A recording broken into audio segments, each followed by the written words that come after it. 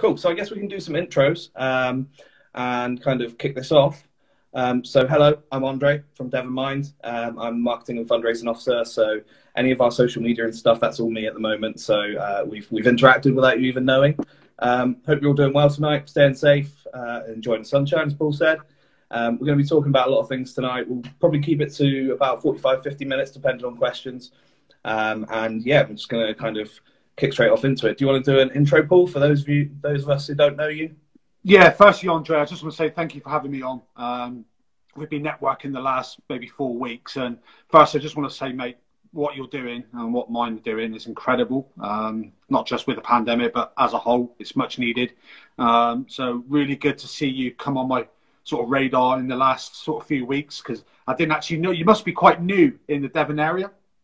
Um, yeah, so Plymouth Mind's been around for a long time. Um, we yeah. used to be known as Plymouth and District Mind.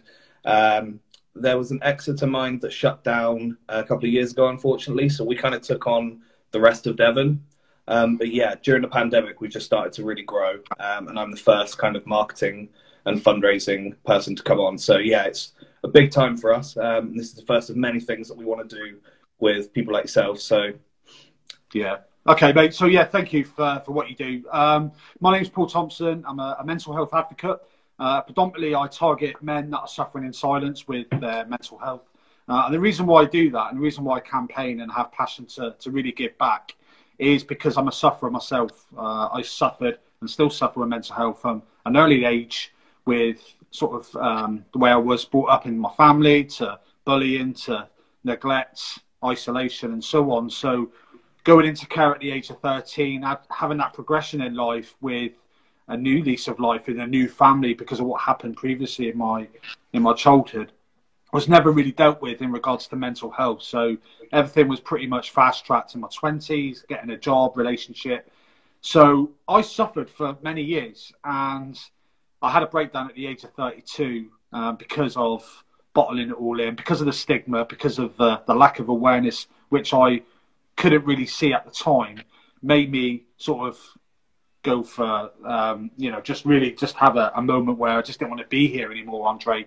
Uh, I had a breakdown. I tried to take my life uh, four or five times within a week, and I was uh, lucky enough to be in a position to have therapy, to have a diagnosis what was going on with the triggers, with the trauma, with what was going on in my environment at the time.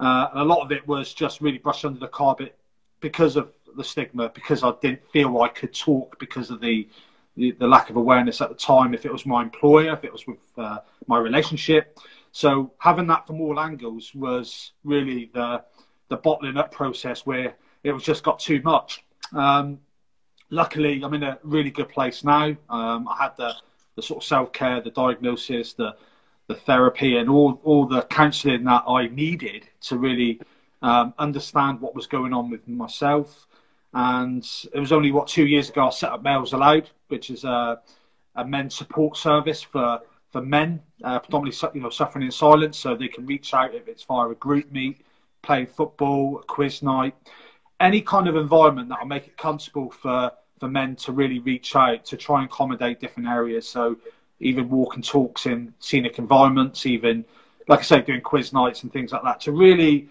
make that message um, quite you know, an easier option. So the environment being key, accommodating um, men really in different areas, and you know, we we helped a lot of men. We really did. Um, and like I said, it was it was needed at the time. It's still needed now, even more because obviously the pandemic we're in, everybody's experiencing new emotions. Obviously with isolation, with uh, obviously lockdown, having new you know these new thoughts and sort of having to adapt more than anything, Andre, to to really people maybe experiencing mental health for the first time without realizing it because being in this new environment. So, yeah, I, I set up Males Allowed and obviously gone on to um, carry on doing the campaign. And, and obviously, with the, the pandemic now, um, we've all been restricted in what we can and can't do. So, doing a lot of sort of advocating online with videos, with posts, and so on. And once this is over, really the key for me now personally is to go into schools, to, to really go into schools, colleges, employers, to really give that awareness of mental health, how we can cope, how we can sort of have that conversation without no fear and judgment, uh, because I believe, um, like you, Andre, um, you know, mental health starts at an early age, and we need to have that prevention, we need to have that education and awareness. Yeah, so if anyone hasn't read uh, Paul's story, um, if you go onto his profile at some point after this, um, he's got brilliant blog post that he's written, um, which kind of goes into a bit of the background of what he's been through and stuff. He's just touched on it there. Um, it's a fascinating story, Paul. Um, very moving indeed. Um, yeah, in the interest of being completely open and breaking down that stigma, I'll quickly go through my journey as well. Um, so I am I'm now 30 years old. I used to work, at, so I went to uni in Southampton and then worked in London and felt the pressure of kind of that busy life. I grew up in Devon and then kind of moved into this busy environment and it just was too much for my brain. Um, had a lot of problems with uh, anger actually, which is not recognized necessarily as a mental health condition, but obviously contributes to a lot of, you know, what people go through. Um, yeah, and long story short, have suffered depression since uh, 2015, so almost six years now.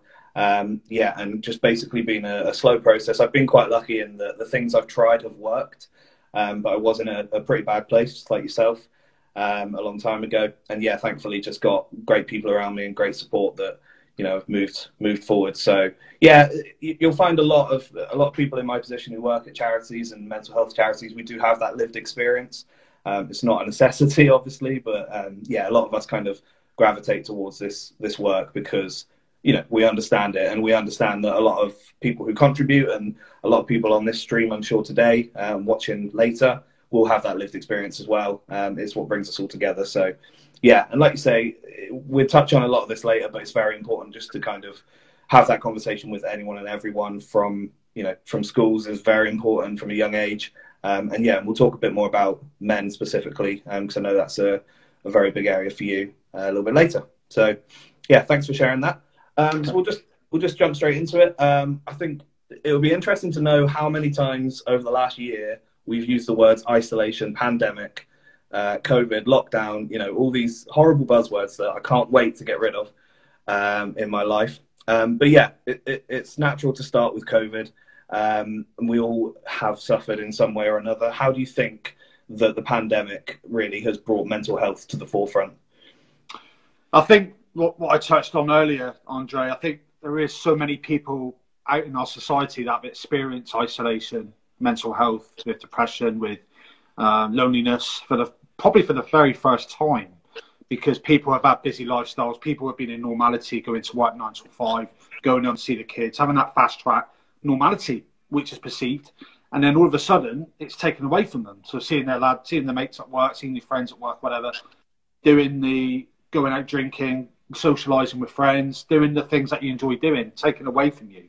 So we've had to adapt, and I think for mental health, I think people are starting to really get it now, where they probably didn't before because they never experienced it, and you know, men in particular that have reached out to me personally in the last few months with the pandemic have been really open about it and really just not doubted themselves before, but just really sort of really understanding now that this is real, that mental health is real, and why, you know, maybe I didn't need to, well, wasn't in a position to experience it before because everything was quite normal and um, comfortable. But being obviously in a in a pandemic and you know hobbies and sort of things that people enjoy taken away from them for without their control has led to people suffering and I think a lot lot more people are talking about it and and I think I had to put a positive spin on it because it's quite it's quite easy for us to really engage in the news and really take in the statistics and and you know when are we coming out of lockdown and really absorb our energy into this. But I think for a lot of us I think we need to do take the positives from this from the pandemic and really have a you know, be in a situation to really sort of evaluate our position, where we are in life, what can we improve on, have a bit of a reflection, and you know, make sure that we're in a, a really better place before we actually obtain normality. Yeah, I think what you say about life being, you know, normality being taken away is really interesting because I remember when it kind of happened, you know, and, and it was life was normal and then suddenly it just wasn't, you know, overnight. You know, people started hearing about it and then suddenly it was, you know, you have to change the way that you live. Uh, and people, you know, if you're if you're under the age of I don't know a, high age, you know, you haven't been through anything like this before. and it's it's just you don't know how to react. So I think that's a really interesting point um, that it was so sudden uh, and so just overnight. Um, and I think to bring it to like to Devon specifically, because obviously we're Devon Mind, um, it it really hits people here quite hard. I think because normality here is very steady. Uh, you know, typically the stereotypical view of like rural life is is relatively accurate. Um, you know, you just you get on with life and things are just quite normal and steady. You're not going on tubes everywhere. Um, yeah. So I think you know, and and we do have a lot of people who live in quite isolated areas. So it's it's made all the more you know difficult to actually interact with people when you're not allowed to go out. Mm. Yeah, that's an amazing point, and really a valid point, which I didn't even think about until you said. It's a very, very valid point, and we're in such a rural county, and there is the high life, if you like, the busyness, the, the where we are in this in this county is a little bit more laid back, a little bit more um, green based, if you like, yeah. and it's a different mentality, isn't it? And you know, you go to London. I go to London quite a bit with watching football and things like that, and to adapt for a day is quite hard sometimes with the hustle and bustle in the tubes. And so I think put it in perspective. Imagine if you have got that normality. And it depends. You know, we've all got a lifestyle. We've all got, um, you know, we've all got hobbies and so on. But take that away from you. It's, it's difficult. It really is. And, and, and what you made as a point is, is, is very valid, mate. I didn't even think about that. Yeah, I mean, I think you know it's affected everybody. I'm not going to play down any particular area, but I think if you if you're working in the hustle and bustle, you know, I've got a lot of friends who live in London, and it, it's it's hard. The hustle and bustle is hard, and so to have that taken away briefly for a month or two was probably quite nice. I, I would guess, um, but you know, it's been a year now, and that's too long, way too long. Um, but I think for us to have any any kind of normality interrupted is really tough. Um, I've just seen the trauma artist who I know you've streamed with um, said I don't want to go back to pre-COVID, and that's a really interesting perspective. I think, you know, we're talking about social isolation tonight, and that started way before COVID. You know, people use social media all the time, and social isolation is is a very real issue. It will continue to be an issue, um, and I think when you say to put a positive spin on COVID, um, you know, people now understand more than ever the value of connection, real life yeah. connection. Yeah. Uh, and I think that's going to be, you know, pre COVID, maybe that was underestimated. Um, so hopefully, you know, that will be something that people carry forwards.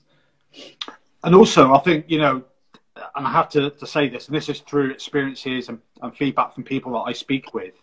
I think, obviously, having that sort of being adapting to COVID and adapting to isolation, adapting to being at home 24 7 has been really, really hard. And like what the trauma artist just said, Pip and yourself, I think a lot of people are going to find it hard going back because people have enjoyed being at home, enjoying family life, enjoying that reflection, doing things like physical exercise they probably wouldn't have had the chance to do so yeah. being at work, you know, and having, I don't know, just having that sort of quality time with the family and so on. So to go back into work and that taken away from you is a bit of a catch 22. I think if you put a spin on that, that's going to have a real effect. And you can imagine and just put this as a situation, Andre. You know, when we all we're all off for two weeks at Christmas and we go back with that cold turkey and that January blues. It's a bit yeah. like that, but a hundred times worse in a way because you're going back after a year. Yeah, it's almost like for the first three months or so of COVID, it was like this is new, but this is now the normal. And I know that people have said the new normal um, as like a post-COVID thing, but this is normal for a lot of people now. And there's going to be a lot of people who like you say, they're going to go back to work. And, you know, I know people who are going to be in this situation. They're going to go back to work and they're going to be told, well, you're going back to work and in the office five days a week and, you know, whatever, doing whatever you're doing. And, you know, people can see that they're, they're coping to some extent now with what they live in normal now. Yeah. Um, and that's just, it's just, I think when something goes on for that long, uh, it's just hard, very hard to adjust. And we're all just tired of all the adjustments and trying to keep up with the rules. You know, I don't think anyone has been able to keep up with every single rule change. Um, and yeah, I mean, I've got some I've got some numbers here written down just for some context, but um, the Mental Health Foundation have been doing some surveys over the last year um, of people in the UK to see kind of how they're dealing with COVID, and the numbers are quite scary in terms of how people are feeling in terms of hopelessness and isolation. It's it's getting worse and um, you know, for things to just suddenly go back to normal, that will be an adjustment that I'm not sure how we're going to handle it. And obviously, we're taking this day by day and just seeing what happens. But yeah, it's going to be really tough. The job is not, you know, when COVID's over, the job is not over. There's going to be a lot of fallout from that. And obviously, we're anticipating as a mental health service provider that we are going to have to help a lot of people. So we're trying to set ourselves up for that um, and just be there in the right places. So yeah, it's, it's, it's, it's interesting. I think we all want to come out of the pandemic, but it's going to be interesting to see how we all adjust back to that. Yeah, and and you know, on a personal note, with lockdown, like everybody else, we've had to adjust. We've had to have a different mindset and sort of vision on this. But as the months have gone on, and I've just embraced it, Andre. If I'm honest, yeah. I've just been in a position to really concentrate more on my physical well-being and actually getting out and doing some exercise where I didn't have the opportunity to do so before. Maybe do some more cooking at home. I've been a domestic god, Andre, since I've been in uh, been in lockdown. I'm, I'm cleaning all the bloody time, so I wouldn't have done that before. Having a bit of pride at home, um, doing new hobbies, doing some artwork. I mean, I'm not very good at art, but doing some that stimulate the minds to to do something that relaxes you, where I probably would have took for granted before. So on a personal note, um, yes, it has been difficult, like for the rest of us, but you go you you go mad if you read the stats and you engage the news and in a way feel sorry for yourself. And I'm not, and there's nothing wrong in that, but you have to have a, you have to embrace it as well because you will go do Ali, you will go mad if you start to point negative reactions to every single situation. So, yeah, on a personal note, I think a lot of people can can agree that they found something that they've done differently, or they've they've gone back to do doing something where they've neglected before, if it's a hobby or physical exercise. And yeah, just want to say, what about you, Andre? What have you sort of took or taken from the sort of pandemic, which which has made you obviously happier? Yeah, I think. Um, I mean, that's it's an interesting kind of perspective on it. Um, I think back in March and April, when people were first exposed to this and they were furloughed or whatever, um, you know, we all did a lot of things. I did a lot of gardening, like you have.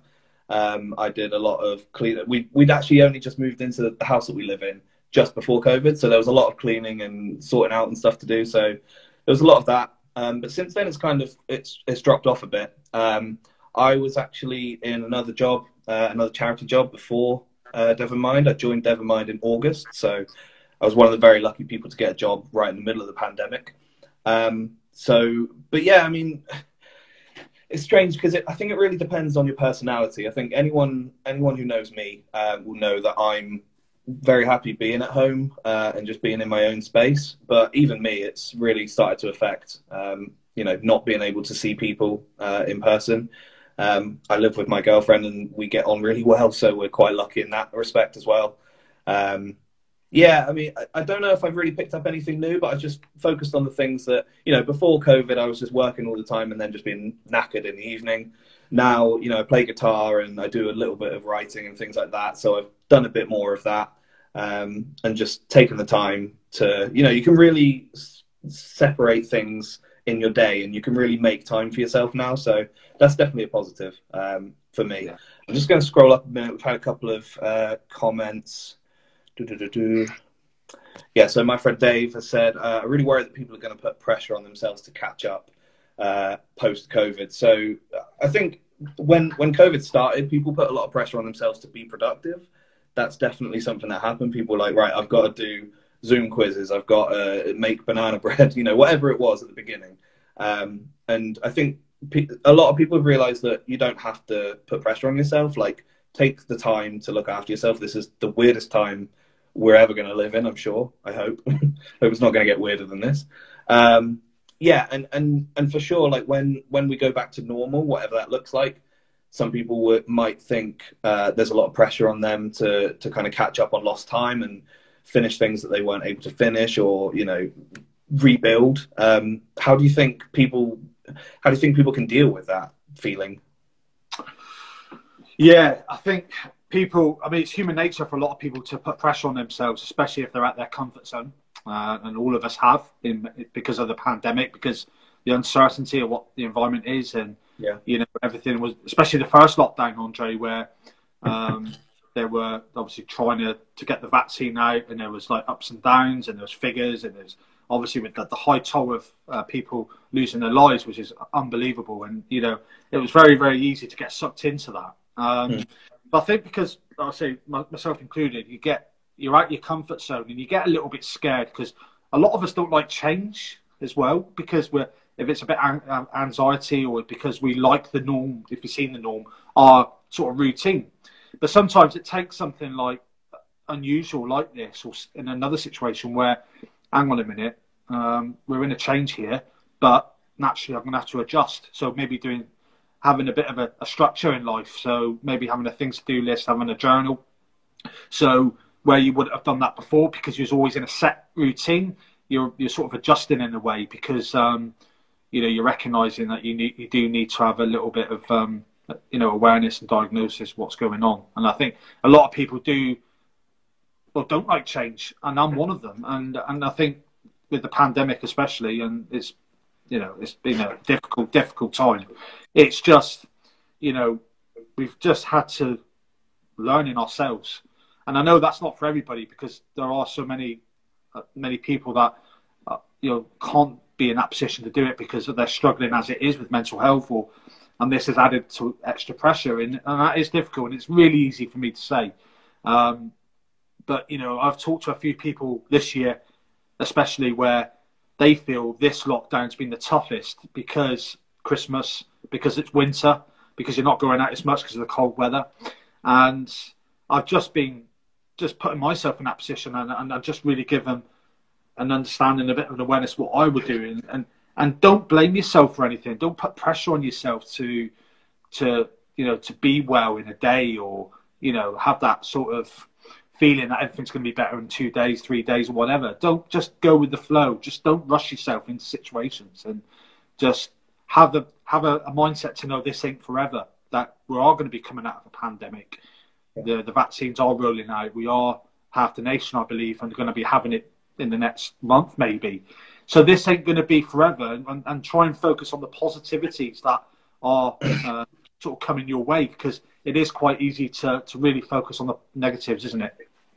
Yeah, and I've, I've you said about blame there. I've heard a lot of people say, "I feel guilty for not doing this X, Y, Z," yeah. and it's like this is out of all of our hands. Like it, it's very easy to say, "Don't feel guilty," um, and you know I'm guilty of, as, of it as well. Guilty of being guilty, whatever that means. Um, but yeah, it's, it's it's very easy to say, "Don't feel guilty," um, but it's just a case, I guess, of putting it into framing it in a perspective that everyone's dealing with this and we're all kind of making it up as we go along almost. Um, but yeah, I think it's it's important just to remind yourself of the things that you've done and picked up during the pandemic, during lockdowns that have helped you.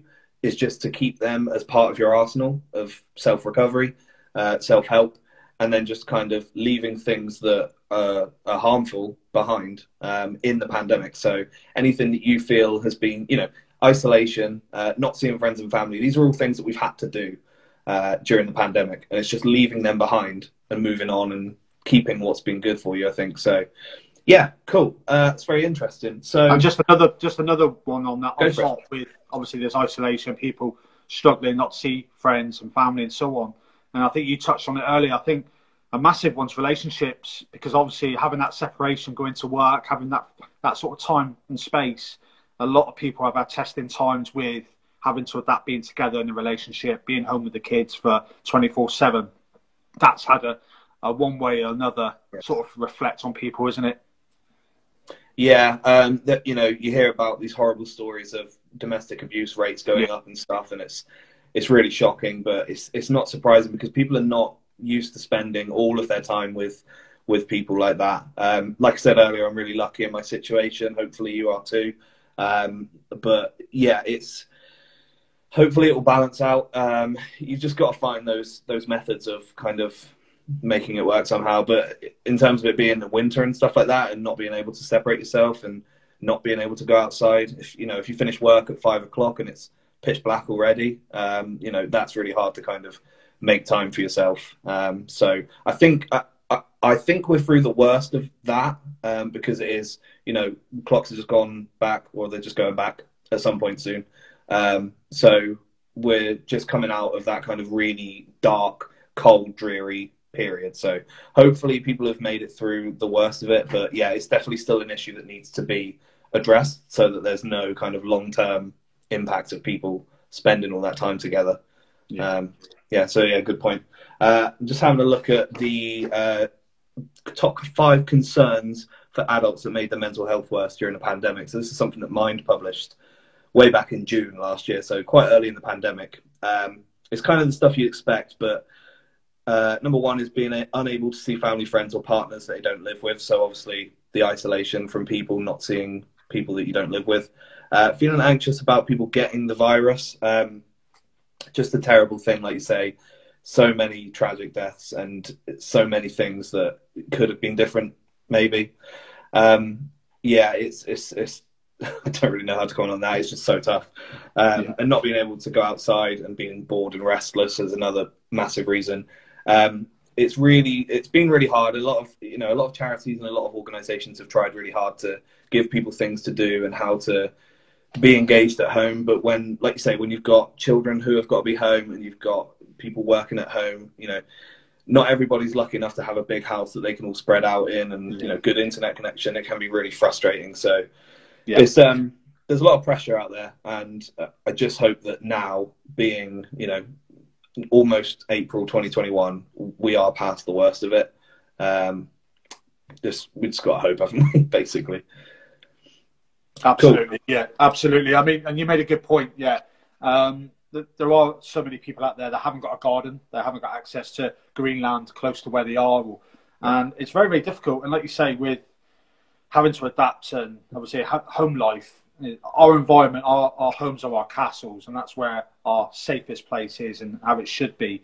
And yeah, it's it's very difficult for a lot of people that that haven't got that facility of, let's say, accessible to, to fields, to scenery, to let's say gardens and stuff as well. So it's very, very yeah. it's a very good point. And that work life balance as well, just having you know work and home life is in the same building, that's really hard, I think. So, you know, I know a lot of people struggle with that balance. So it's something it's something that we still need to address and tackle. Um, but let's move on because we talked about COVID for a long time. Um, let's talk about men's mental health because I know that's uh, a, a, speciality of yours. Uh, you worked with a lot of men in Plymouth and Devon. Um, so, do you think? I mean, I say we move on from the pandemic. We'll talk a bit more about it now. But um, mm. how do you think specifically men have been impacted by the pandemic and lockdowns, and what kind of what are the biggest issues you think that men are facing now in terms of their mental health? Yeah, I think firstly, you know, having feedback from men that I've spoken with, and being a man myself that have experienced struggles this year and last year, um, I think, you know, men especially having that pressure of being the, the, the, the perfect dad at home to their kids, to have that, to being the strongest one in the family, to having that, you know, um, the man look, if you like. And it's a lot of pressure being at home. There's a lot of pressure being at home with your partner, with the kids, not seeing your mates playing football, because sometimes that can be a massive release for men having sport, having it, and for women as well. But having that exercise to go and play football, even if it's to go down the, the pub and see, you know, the, you know, the mates. Because sometimes us guys, we don't, we're not as good as communicating we are with as women. We know that, and sometimes our release is to have a pint down the pub, if it's to play football, if it's to watch a live band. And sometimes the environment's key uh, for, for men to sort of have that comfortable conversation and, and rely on it. So to have that taken away, and men find it difficult anyway to, to talk more than women, is that's even harder. And obviously, accessing services like Minds, like the Samaritans, Young Minds, uh, Papyrus, all these amazing charities, men are less, they're less reluctant because they feel they don't want to be the weak the weak person or be be you know seen as the weak because of the stigma because of because of the um, you know what's gone on in childhood the lack of school education with mental health it all stems from childhood you know from what i've experienced that there was no education at school for mental health where there is sex education so family peers friends you know all these things that you, you're brought up in life with not not knowing how to deal with emotions and not having a lack of mental health. When you're at home and you're at home 24 seven, and you are relying on seeing your mates, you are relying on having that release if it's in sport, and being at home, perceiving to be a you know normal and strong and happy, is extremely, extremely difficult. And that is the feedback that I get off a lot of guys is that I don't want to be seen weak at home because, yeah. um, you know, the, the tools have, have, been taken away from me, if you like, if it's having banter at work or, let's say, going down for a curry with the lads or whatever it is. Sometimes that's the way men can reach out. And sometimes men feel uncomfortable talking to their partners um, because of the stigma, because they don't want to be seen as the weaker one. And I get a lot of that, Andre, where men are struggling to, to reach out to their close ones. Yeah, I think those are the kind of classic reasons that men often struggle is because of the stigma. They feel that they can't speak up, and I think that's just been amplified by the pandemic, hasn't it? And it's brought into sharp focus. It's right in front of them now, um, and like you say, with their partners and children around, it's it's like you need to speak about it, but where where can you direct that energy? And you don't want to, you know, you don't want to be a burden. You don't want to appear weak, like you say.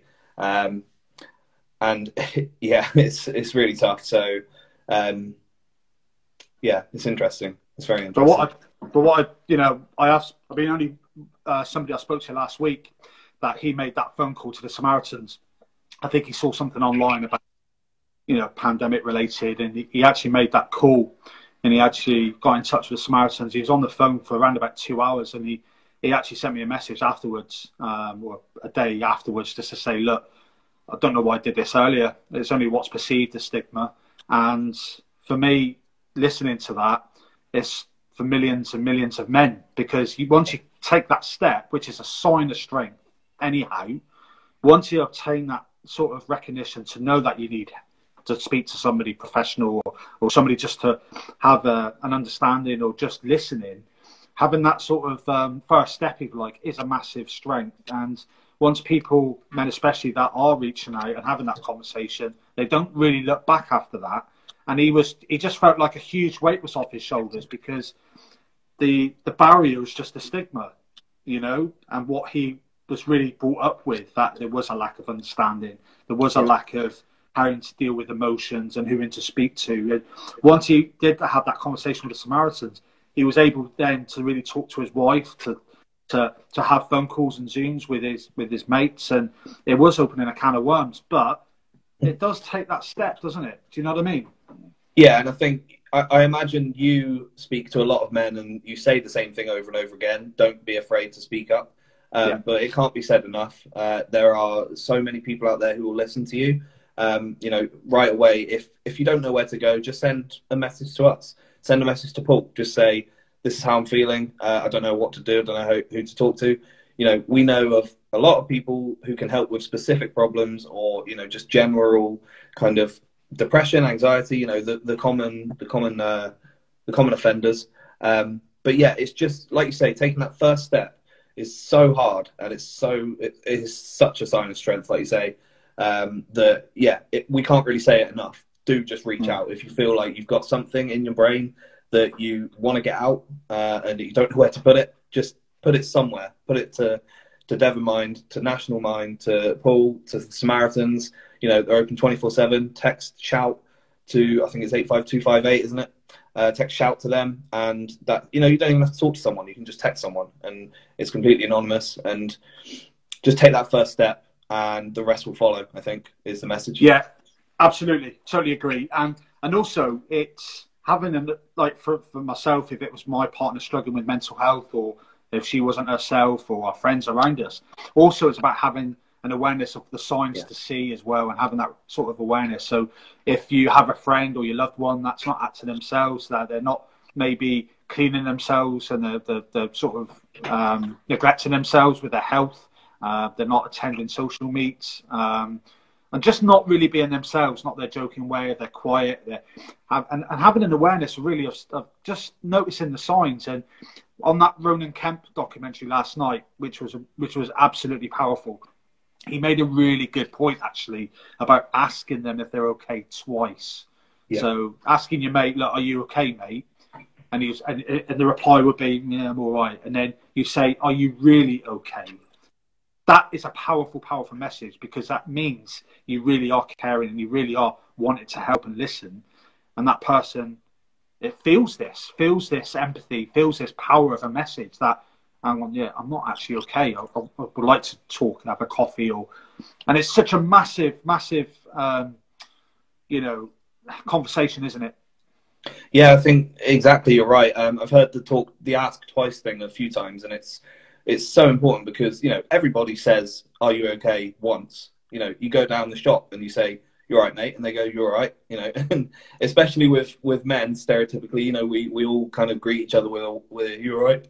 Um, and you know it, it can be brushed off quite quickly but if you you know you reinforce that i'm sure that the rate of people who will speak back to you then on the second time is astronomical. You know, to open that door is to just go, you know, you're completely safe now. You can tell me whatever you're feeling, and I will help you uh, in whatever way I can, point, point you in the right direction. Because you know we're not all trained to to counsel people or uh, provide the help, but obviously pointing somebody in the right direction can be a massive burden off their shoulders.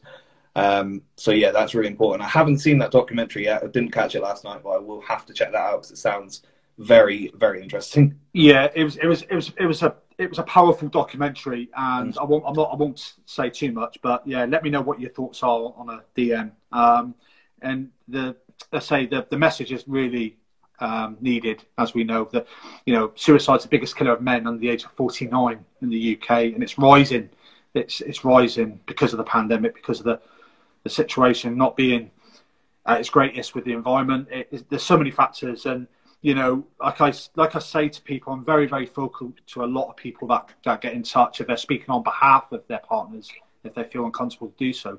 Is if you are listening to somebody and they are um, opening up for the first time and they're feeling scared and agitated, if you're that person on the re- receiving this communication, just give that person space and time without any judgment and, and empathy, give them the empathy to allow and give people or that person time in you know to open up when they need to because sometimes we can pressure people to talk sometimes we yeah. can give body language and the wrong vibe sometimes we don't have to deal with it ourselves but it, if we can have that empathy if we can have that patience no a non-judgmental sort of reaction that will help that person so so much and the amount of relationships the amount of people that we work with that don't really have that sort of awareness and education is is lost a bit in society because people want to reach out, people want that cry for help, but if that reaction from that other person is not what they need to hear and see, yeah.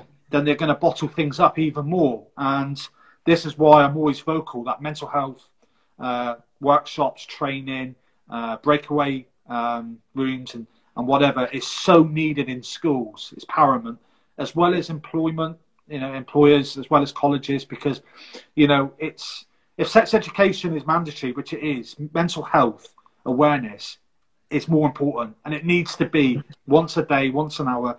If somebody's, I went to a school in Paignton. I did a talk in Paignton, Andre, and I, sorry if I'm talking too much, but I'm passionate about talk about.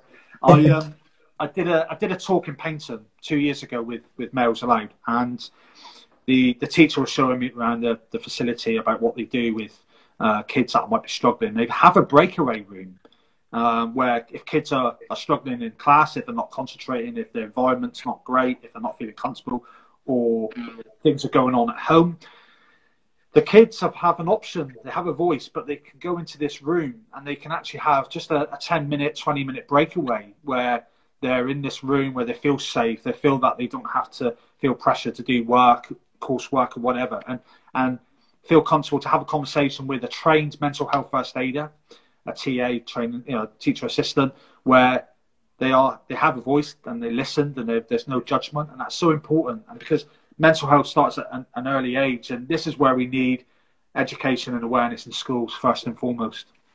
Yeah, it's a fantastic point. I think having the breakaway room um, and having people trained. I mean, the mental health first aid course, I've done uh, the mental health first aid England course, um, and you've I know you've done some advanced training as well.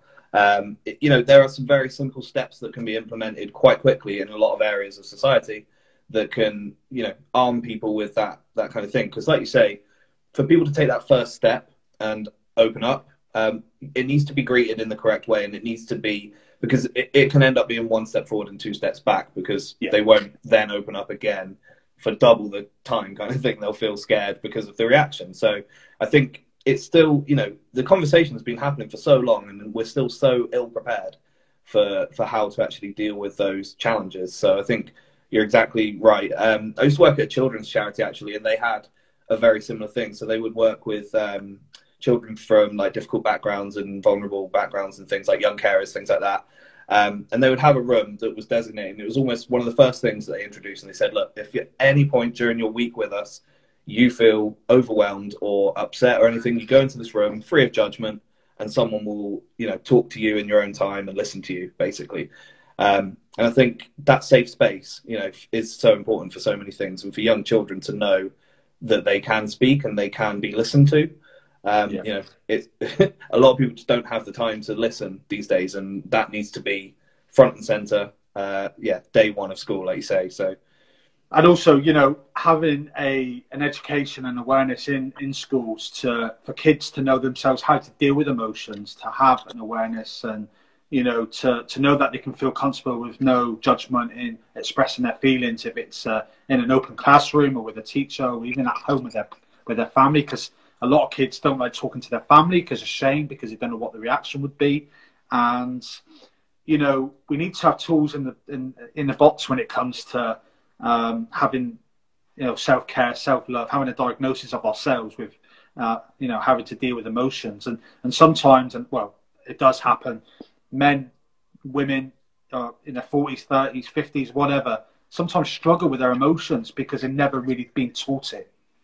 Yeah, exactly. And it's always been a stigma. It's always been something you don't share. It's always been yeah. something that should be private and you should deal with yourself. And that's just completely wrong, essentially. Um, just a couple of things from uh, Carly P. Uh, she said, uh, follow Dr. Alex George. He's doing great work in schools. So he is the, um, I don't know what his official title is, but he's a mental health um, ambassador who's recently yeah. been hired by the government, hasn't he? So, um, yeah, we're we're kind of waiting with bated breath to see how what comes of that. That's a, a really good move by the government. Um, and also, she said, check out Place2Be. So yeah, if you have uh, children or young people in your life who you think might be struggling with mental health, or you just want to help them learn about it, um, Place2Be are a fantastic charity. Uh, we've shared some of their things in the past for Children's Mental Health Week and things like that, which was quite recently. Um, yeah, Place to Be. Uh, check them out if yeah. that's something that you want to learn about. Uh, yeah, on... they're on Instagram. Yeah. Okay. Yeah. yeah. So we'll probably share some links after this. Oh, somebody, hello, Stace. She works for Place2Be. Yeah, you guys do fantastic work. So thank you for that. Keep it up. Um, yeah, and just one more point I wanted to make on um, on men's mental health specifically. I think you mentioned something similar to it. Um, yeah, everybody. I think it's common knowledge by now that uh, you know suicide is a massive, massive problem for men specifically. Um, the numbers are kind of skewed. Uh, that women are known to women are recorded as suffering more with mental health issues generally, um, but the rates of suicide in men is almost three times or over three times as much as women. So the importance of having that conversation with the men in your life is is absolutely critical because by the time they open up, it could be too late. Uh, more so than with women. Women are more likely to speak to you. Not to say you shouldn't reach out to the women in your life because, of course, you should. Um, but yeah, with men, if you notice any signs, make sure that you do act on them as soon as possible. Um, and like you say, if they're acting slightly different and not doing the things that you'd expect them to do, then that's usually uh, a good sign that you should kind of jump in and see if they need any assistance. I think with me um, and with other people in my life, it started with losing interest in things that you always had an interest in. So uh, I went off football, went off music, um, went off video games, um, and that was kind of the, the, the first sign that I was falling into an area that from which I needed a hand to get out, basically. So yeah, just just look out for those signs um, and just reach out and just be be somebody who can listen, basically. Yeah.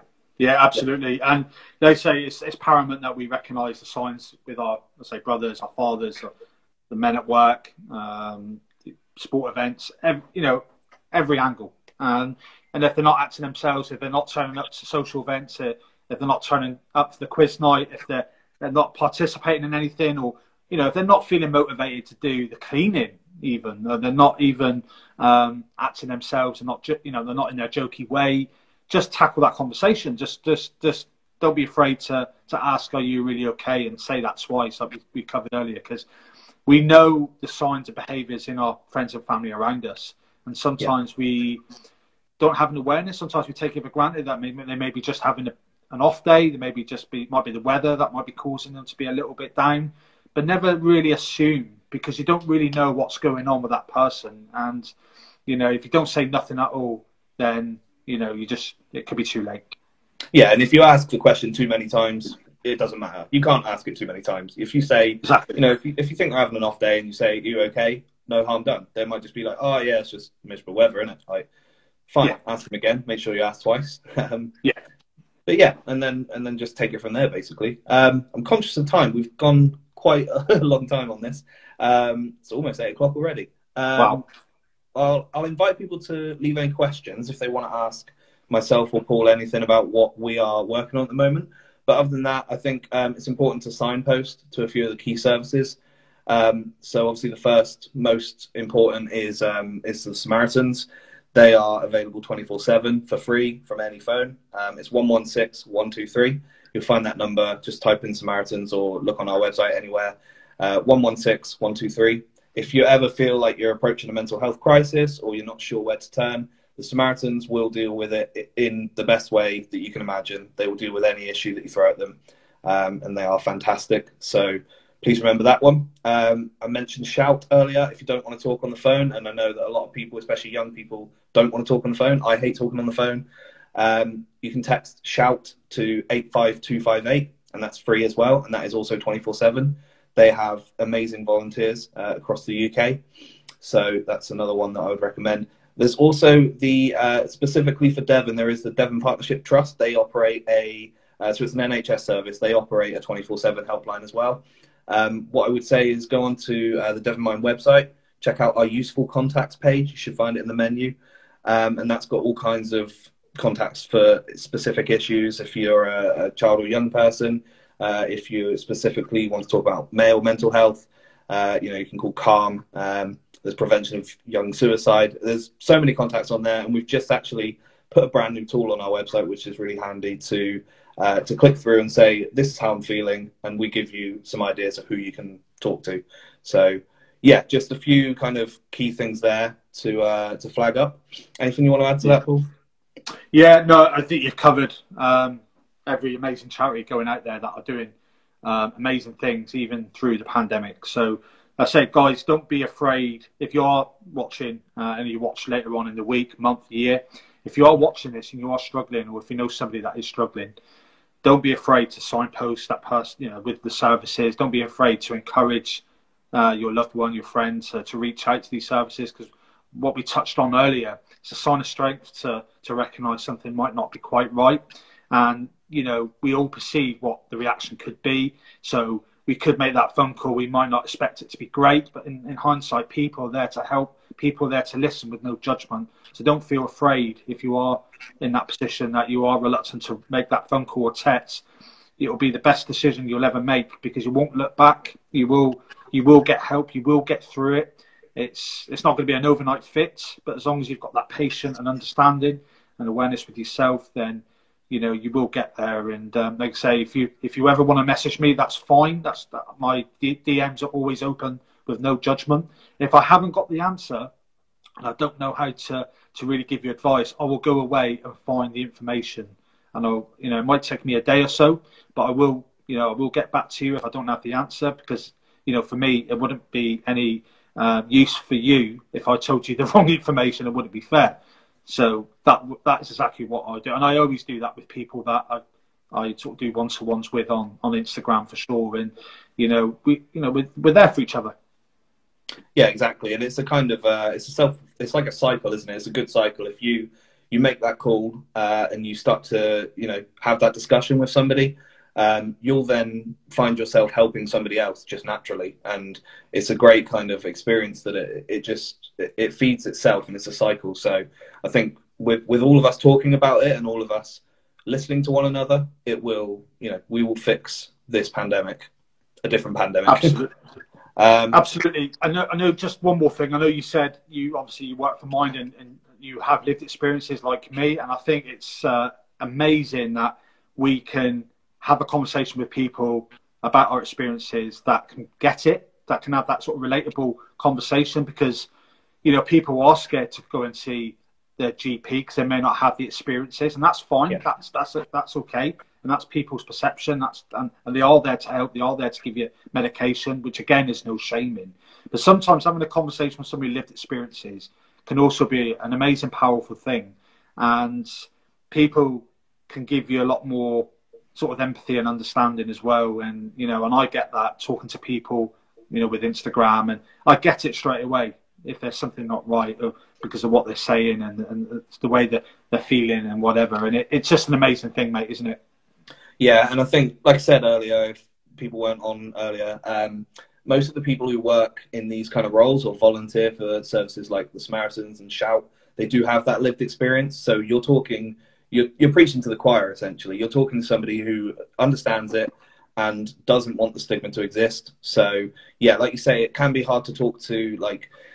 I've found it difficult to talk to parents in the past, or like you know, older people in your family, um, and yeah, GPs as well are sometimes difficult because they're not specialised in those kind of things but there yeah. are hundreds hundreds of people out there who are waiting to hear from you. So yeah, just make that call. And um, as Paul said, we're obviously our DMs are always open. Um, we're you know that's what we do.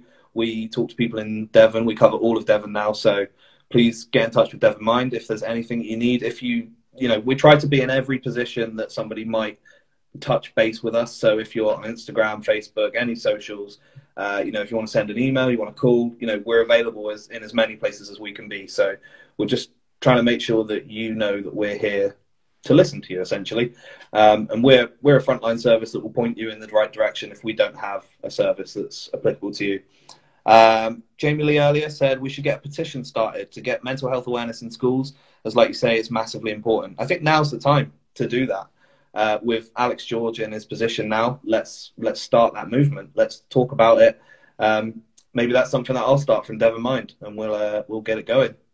Definitely. Yeah, uh, I mean, it's it's something I did with Males Allowed, and I'm going to be continue doing talks uh, when all this is over to be linked in with schools to to come in and have a conversation with students from primary to secondary and even university because.